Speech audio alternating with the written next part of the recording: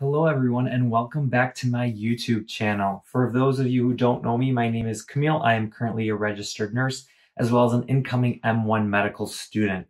Today I just wanted to take some time and just talk to you guys about what IR is, interventional radiology, what we do, kind of the basics of the procedures, um, how they start, and then as well as just kind of getting to know the IR suite um, and so forth. So without further ado, let's get started.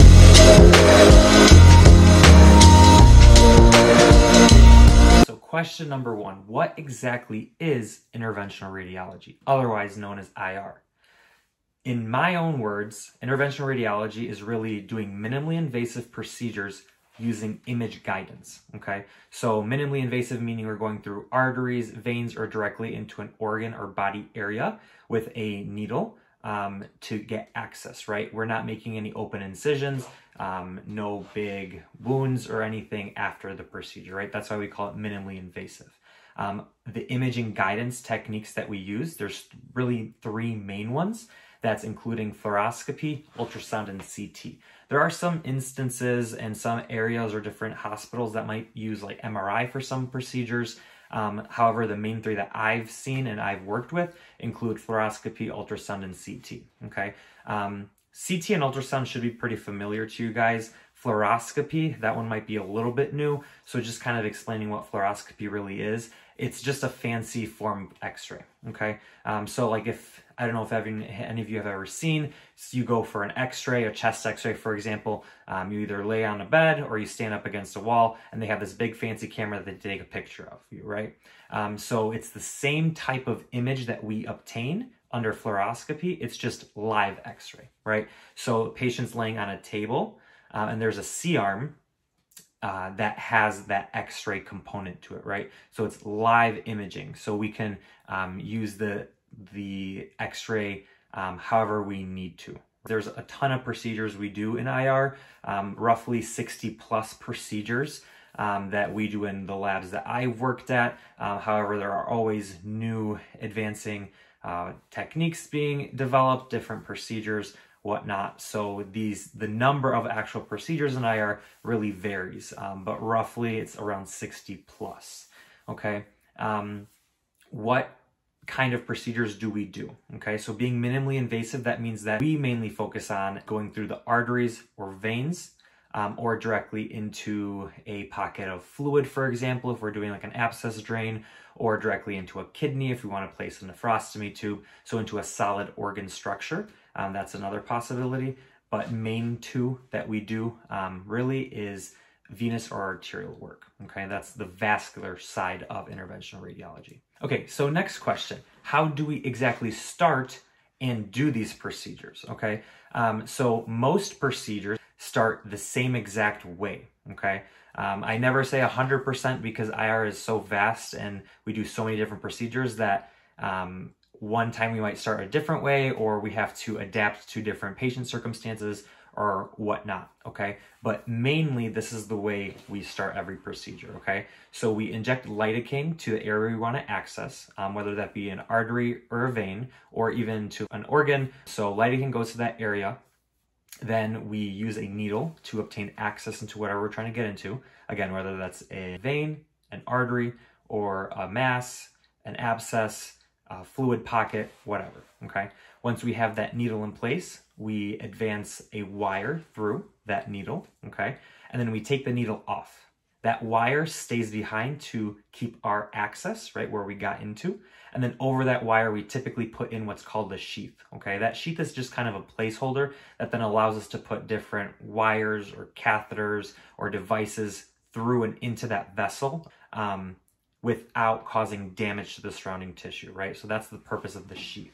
Okay, so now let's just focus solely on the vascular side of interventional radiology. So just the venous arterial side, okay? So we got access, right? We got lidocaine needle wire sheath is in place. Now what, okay? Through that sheath, um, we can do one of two things initially, right? We can upsize the sheath to a bigger size sheath if we need to for the procedure we're doing, or we'll just go ahead right away and advance a wire, a diagnostic wire, and then over that wire, we will advance a catheter, okay?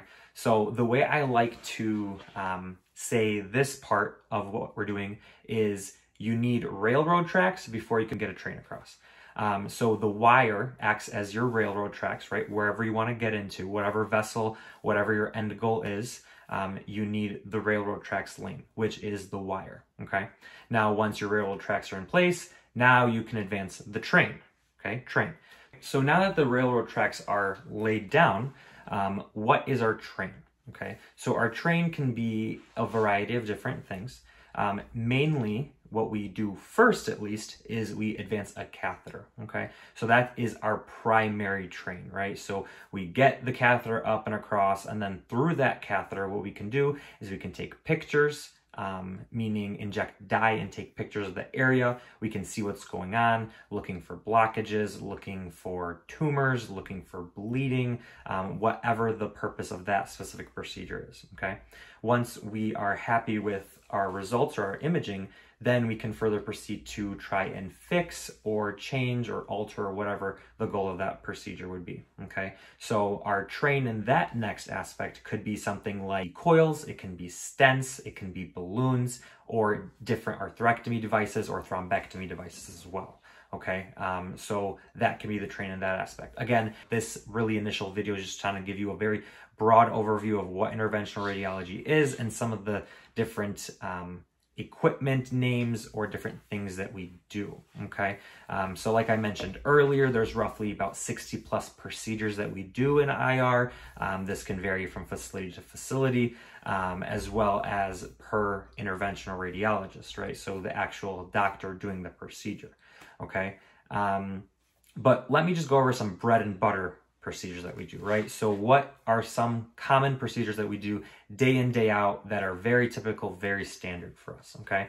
Um, some of those include paracentesis, which is removal of fluid from the abdomen, thoracentesis, removal of fluid from the lung or the pleural space, right? Um, abscess drains. Abscesses can occur anywhere in the body, so anywhere there's an abscess that needs to be drained, um, patient would come down to interventional radiology and get a drain placed, okay?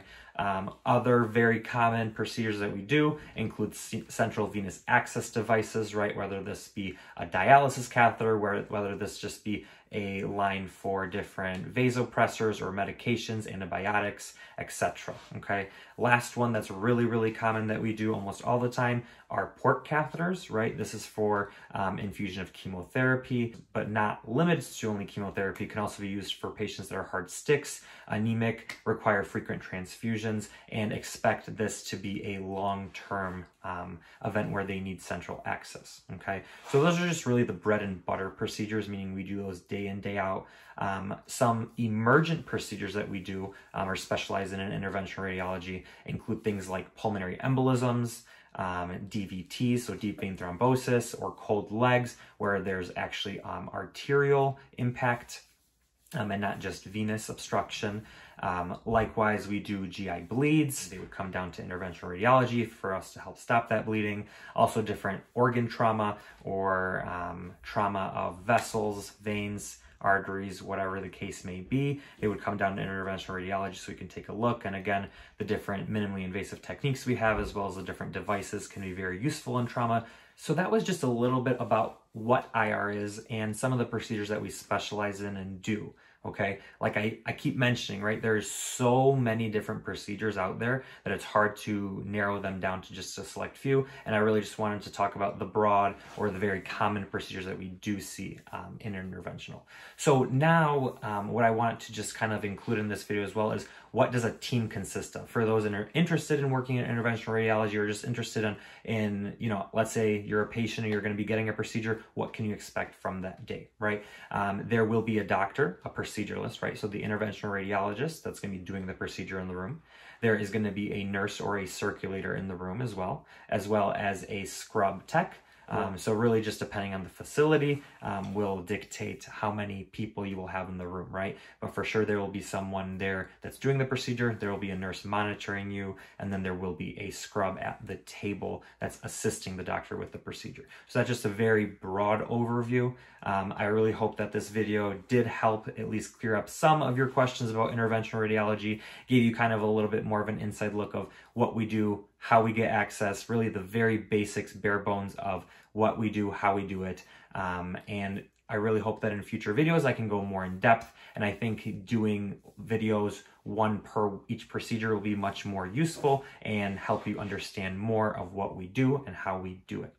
All right, guys, that's all I have for you today. If you have not subscribed yet, please subscribe to this channel. Leave a thumbs up if you like this video give me a comment and share this video with your friends. I am always up to suggestions, so please, as I mentioned, leave a comment below what videos that you want in the future, any follow-ups, any questions you might have about this video. I am more than happy to answer them. And as always, have a great day and see you next time.